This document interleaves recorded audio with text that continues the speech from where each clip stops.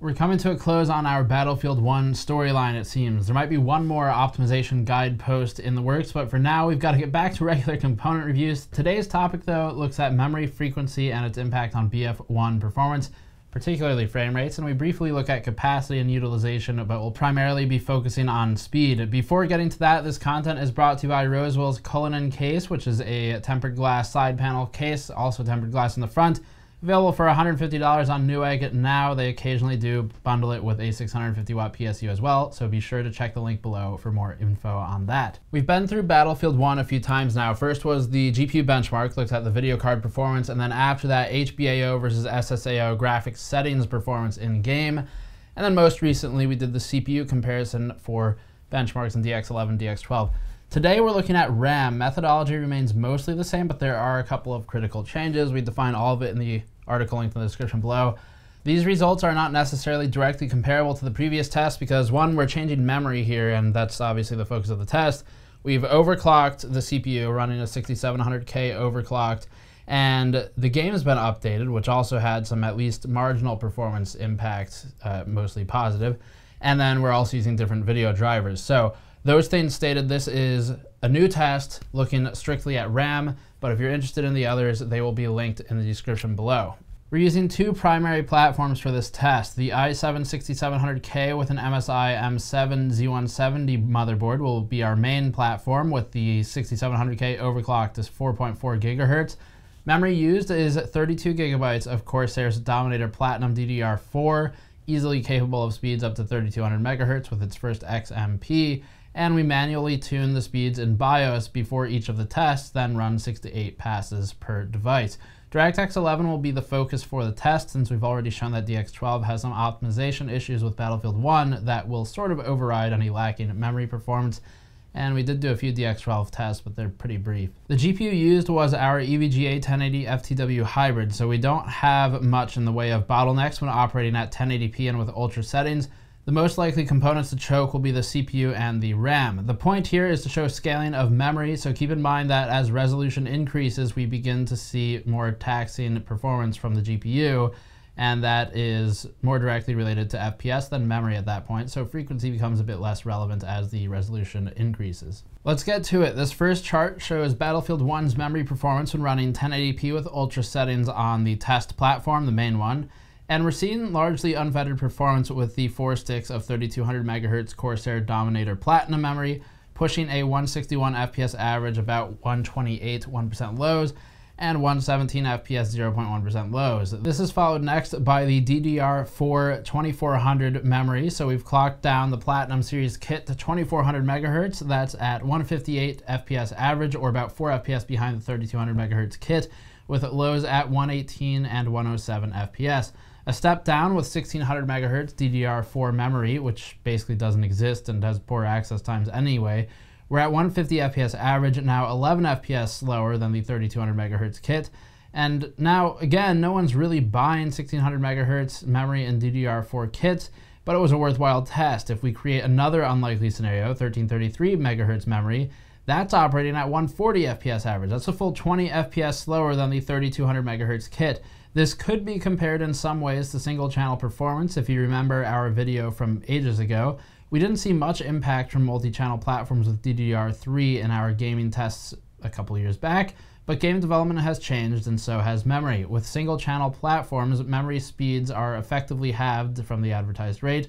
So these 1333 and 1600 results give a look into single channel performance with BF1 and as a quick PSA, keep in mind that there's no such thing as quote unquote dual channel memory or single channel memory. The memory itself is not in charge of how many channels there are, it's the platform. Here's a chart showing percent scaling as offset from DDR4 2400 versus a fairly standard 2400 megahertz kit of DDR4 memory. We're seeing scaling of about 2.5% gains when moving to 3200 megahertz, and we're seeing losses of about 5% when stepping down to 1600 megahertz, and the jump from 2400 to 1333 is about 12%. Again, remember that as we begin restricting performance through other variables, like increasing the resolution, basically taxing the GPU more, taxing the CPU more, the memory impact will become less significant. It's a small part of the performance overall, but it is actually showing a change, which is cool. It's not really that common.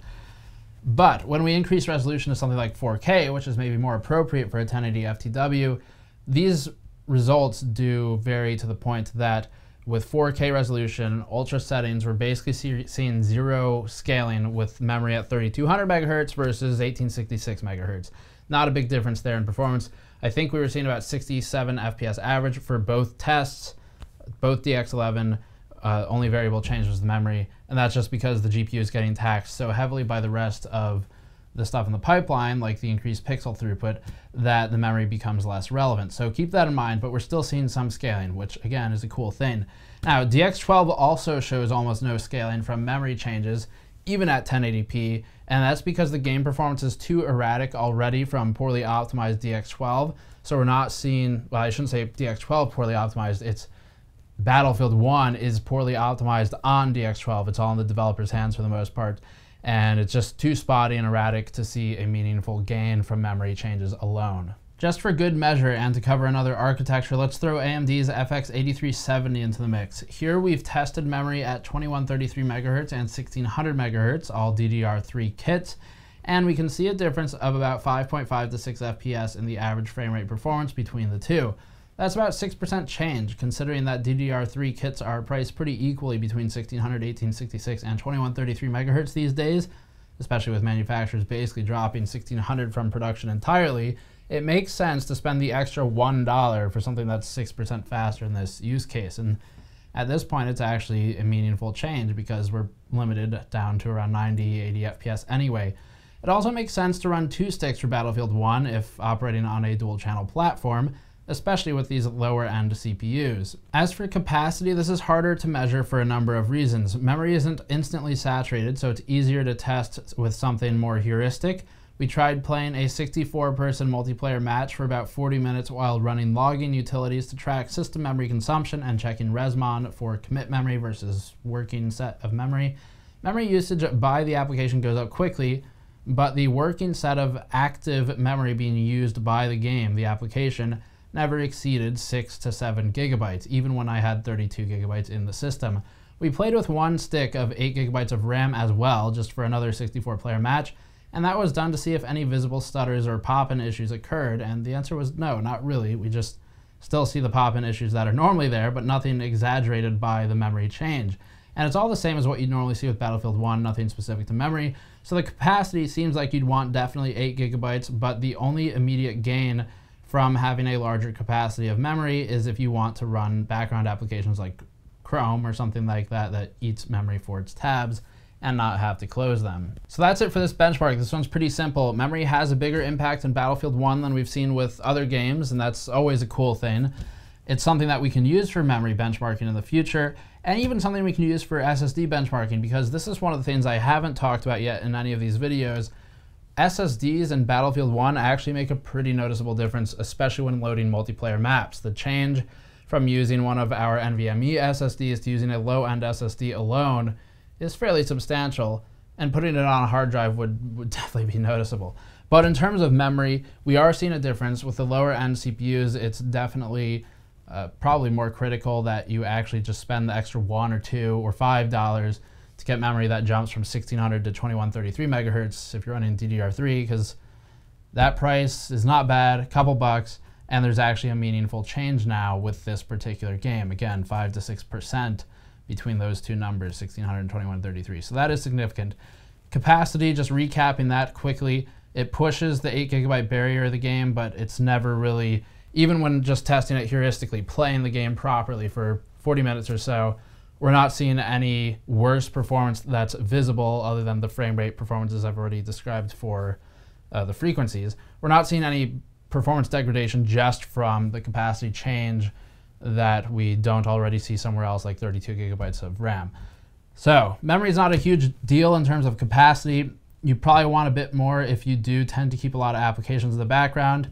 16 gigabytes isn't a bad idea, but 8 is plenty for this game if you're just playing the game and killing everything else in the background.